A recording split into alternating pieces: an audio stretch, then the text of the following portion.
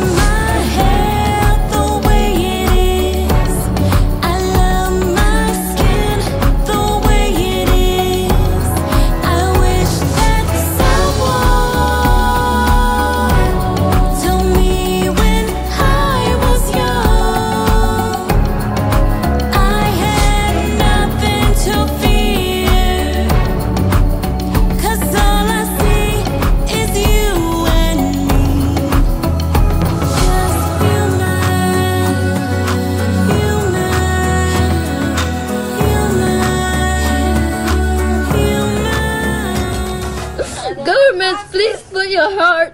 Let my parents be free with the, everybody else, please.